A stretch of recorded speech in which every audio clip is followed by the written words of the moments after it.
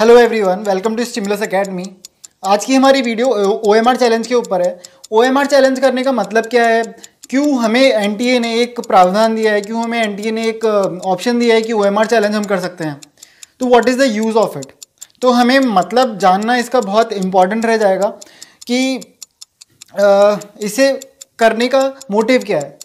तो पहला एक सबसे बड़ा मोटिव आता है कि कभी कभी ऐसा होता है कि कंप्यूटर जो ओ एम आर हमारी स्कैन करता है तो वहाँ पे कुछ गड़बड़ हो जाती है कि हमने मार्क्स तो कुछ और ऑप्शन किया है, पर कुछ टेक्निकल इशू की वजह से जो ओएमआर में आंसर जो परसीव हुआ है कंप्यूटर के पास, वो अलग ऑप्शन हो जाता है। हमने ऑप्शन अलग मार्क किया है और ऑप्शन अलग वहाँ पे परसीव हो जाता है। ठीक है? तो उस केस में हमारे पास O M R O M R check करने का ओ एम आर चैलेंज करने का एक ऑप्शन रहता है। दूसरा रीज़न ये रहता है कि हालाँकि एक छोटा सा रीज़न है पर कभी कभी इंपॉर्टेंट रोल प्ले करता है। कुछ बच्चे होते हैं जो पेरेंट्स को बोलते हैं कि हमने तो ये ऑप्शन मार्क किया था पर आ, हमारा आंसर गलत आ रहा है। तो उस केस में पेरेंट्स के पास एक ऑप्शन रहता है कि अगर बच्चा क्लेम कर रहा है कि अगर बच्चा एकदम कॉन्फिडेंटली बोल रहा है कि हाँ मैंने ये मार्क किया था और ऑप्शन गलत आ रहा है तो फिर वो वहाँ पे एक ऑप्शन रहता है कि आप क्लेम कर सकते हैं। ठीक है? फिर एक रहता है ऑप्शन कि ओ एम आर शीट दिखाने का एक मोटिव ये भी रहता है कि जब रिज़ल्ट आता है फाइनल रिज़ल्ट तो आप अपने मार्क्स कैलकुलेट कर सकते हैं। आप, आपकी ओ एम आर शीट के अकॉर्डिंग जो मार्क्स वहाँ पे दिखाए हैं, वहाँ पे आप ऑप्शन मतलब आप अपने मार्क्स क्रॉस चेक कर सकते हैं, ठीक है? तो जो फाइनल रिज़ल्ट है, उससे। हालाँकि वहाँ पे आपके पास चैलेंज करने के लिए उस वक्त बाद में एक कोई ऑप्शन नहीं रहेगा, पर अगर आपको लगता है कि हाँ कोई बड़ी गलती हुई है तो आप लीगल प्रोसीजर के थ्रू जा सकते हैं। ठीक है लीगल प्रोसीजर लाइक कोर्ट्स वगैरह के थ्रू पर ठीक है इतना कोई जाने की ज़रूरत नहीं होती इतनी कोई बड़ी बात नहीं हो, हो पाती है। क्योंकि अभी जो आर्टिफिशियल इंटेलिजेंस जिस तरह से यहाँ पे नीट के पेपर पेपर प्रोसेसिंग में या चेकिंग में यूज़ होता है वो बहुत अच्छे से ऑटोमेटेड प्रोसीजर है और अच्छे से फ़ंक्शन करता है। ठीक है एक रीज़न ये भी रहता है ओएमआर दिखाने का या चैलेंज करने के ऑप्शन देने का कि in case O M marked जो भी रहता है जो बच्चे मार्क करते हैं और डिस्प्ले नहीं हुआ है, ठीक है? मतलब डिस्प्ले कहाँ नहीं हुआ है? जो final O M R sheet upload हुई है, वहाँ पे डिस्प्ले नहीं हुआ है। तो क्या रहता है कि इस टाइम पे एक कार्बन कॉपी जो कि जनरेट हुई थी साथ में ही ओ के साथ में एक कार्बन कॉपी भी जनरेट हुई थी। इस बार नीट के द्वारा एक कार्बन कॉपी भी बच्चों से ली गई थी। तो वो क्रॉस चेक होती है। कि अगर बच्चा ये क्लेम कर रहा है कि मैंने तो ये मार्क किया था, पर अपलोड में नहीं दिखा रहा है तो वहाँ पर क्या होता है कि कार्बन कॉपी से क्रॉस चेक होता है कि देखिए, आपने कार्बन कॉपी में अगर आंसर दिख रहा है और आंसर नहीं दिख रहा है या दिख रहा है, जो भी है तो उसके अकॉर्डिंग एन फिर अपना रिज़ल्ट सुनाता है या एन अपना डिसीज़न देता है, ठीक है? तो यहाँ पर यह भी क्लियर हो जाता है।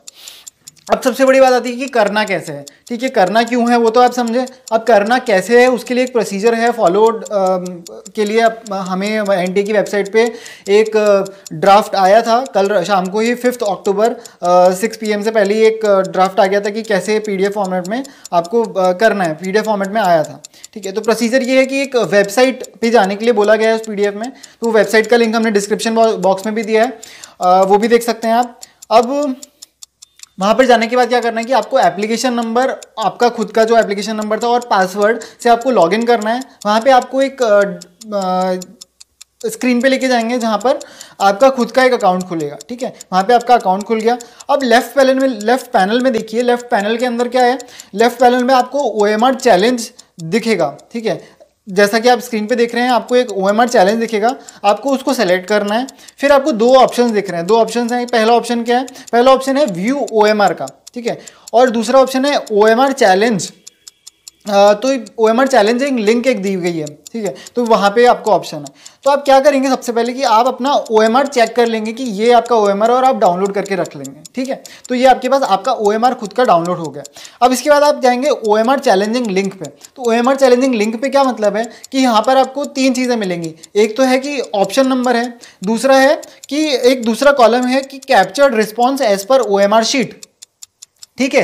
तो capture response as per OMR sheet का मतलब ये है कि आपने ओएमआर शीट में कुछ मार्क किया था और कंप्यूटर ने उस तरह उसको किस तरह से कैप्चर किया कंप्यूटर ने उस तरह उस ऑप्शन को किस तरह से परसीव किया है? तो वहाँ पर आपको देखने को मिलेगा, ठीक है? उसके बाद थर्ड जो कॉलम है, वो है कैंडिडेट्स क्लेम अब कैंडिडेट्स क्लेम का मतलब क्या है कि आप क्या करेंगे? अगर आपको लगता है कि जो आपका candidate response as per OMR sheet है, वो गलत है, गलत दिया गया है तो आप क्या करेंगे कि फ़र्स्ट कॉलम में जो चेक बॉक्स है, वहाँ पर आप टिक करेंगे, वो वाला क्वेश्चन आप टिक करेंगे, जिस, जो आपको क्लेम करना है। जैसे ही आप क्लेम करने के लिए टिक करेंगे, वैसे ही आपको कैंडिडेट्स क्लेम के अंदर तीन ऑप्शन दिखेंगे। तीन ऑप्शन दिखेंगे, बाकी के तीन ऑप्शन दिखेंगे। एक तो जो कैप्चर्ड रिस्पॉन्स में दिख रहा है वो है और बाकी के जो तीन बचे हुए ऑप्शन है, वो वहाँ पर दिखेंगे, ठीक है? तो वहाँ पर आपको वो मार्क करना है जो आपने मार्क किया था खुद से, ठीक है? तो आपने ये मार्क किया था कैंडिडेट्स क्लेम आपका खुद का क्लेम है ये, आपने ये मार्क किया था, पर आपको दिख नहीं रहा है। आपको कौन सा दिख रहा है? आपको सेकंड कॉलम वाला दिख रहा है, ठीक है?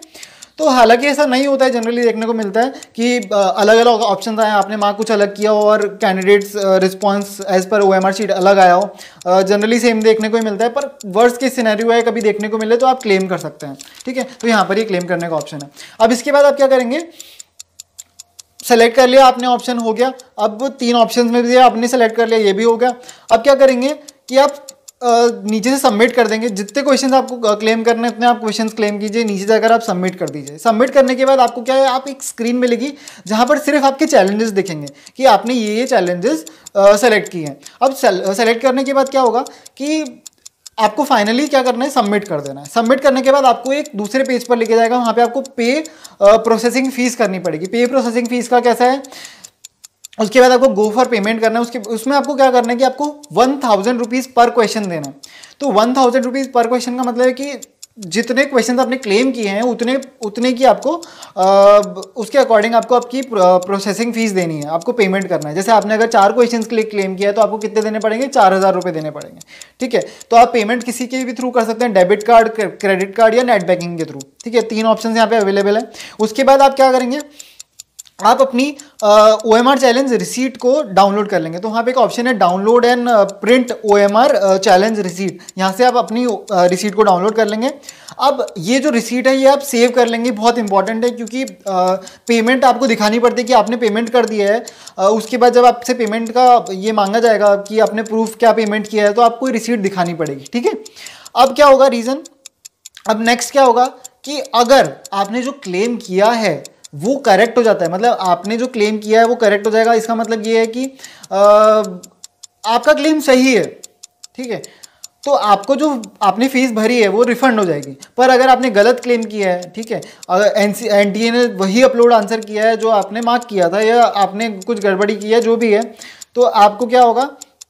वो रिफंड नहीं होगी फ़ीस जितने भी आपने पैसे भरे वो रिफंड नहीं होंगे। वो रिफंड सिर्फ़ एक ही केस में होंगे जब आपका क्लेम बिल्कुल सही है ठीक है? नेक्स्ट हम चलेंगे। आ, ये बहुत इंपॉर्टेंट है कि एक्सपर्ट कमेटी के द्वारा जो डिसीज़न लिया जाएगा वो फाइनल रहेगा तो फिर हम उस केस में नहीं बोल पाएँगे जो भी है आ, जो भी डिसीज़न रहेगा वो फाइनल रहेगा। नेक्स्ट ये जो सर्कुलर आया था ये सर्कुलर आया था आ, कल आया था कल शाम को फाइव फिफ्थ अक्टूबर को सिक्स पी के अराउंड ये सर्कुलर आया था। और इसमें करना क्या था कि दो दिन दो ही दिन का टाइम दिया दिया गया था। Fifth October five six P से लेकर सेवन्थ अक्टूबर सिक्स पी तक का टाइम हमारे पास दिया गया है कि हम ये चैलेंज कर सकते हैं।